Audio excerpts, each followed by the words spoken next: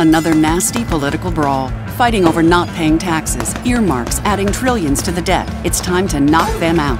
We need a true conservative in the U.S. Senate to stop Obama's liberal policies. Sarah Steelman, the true conservative. Sarah Steelman led the fight to ban partial birth abortion. She'll be a pro life senator, endorsed by Sarah Palin as the true conservative. Sarah Steelman will cut spending and repeal Obamacare. Sarah Steelman, the true conservative for U.S. Senate. Now or Never PAC is responsible for the content of this advertising.